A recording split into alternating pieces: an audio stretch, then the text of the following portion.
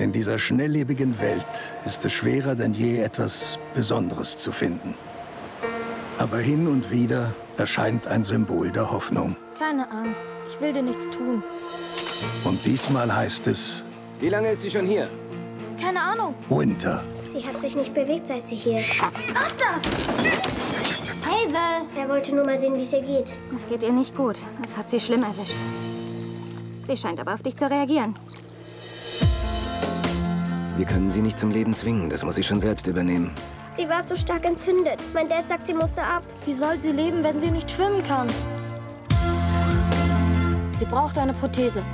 Entschuldigen Sie, Hi. kann ich Ihnen eine komische Frage stellen? Das ist Dr. McCarthy. Oh, hi Doktor. Was kann ich für Sie tun? Ich bin eigentlich davon ausgegangen, ich wäre hier, um was für Sie zu tun. Ich hatte Angst, du sagst nein. Du gehst morgen zur Schule und Ende. Keine Widerrede. Aber Winter braucht mich. Als alle anderen nur das Unmögliche sahen, Niemand, der einigermaßen bei Trost ist, würde einem Delfin die Schwanzflosse ersetzen. Zum Glück bin ich es nicht. Äh, was? Einigermaßen bei Trost. sahen sie einen Grund, alles zu riskieren. Dieser Delfin hat uns alle verändert. Du darfst sie nicht aufgeben. Es wird schon wieder. Für uns beide.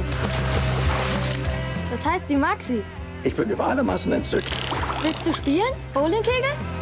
Du magst die Ente, oder?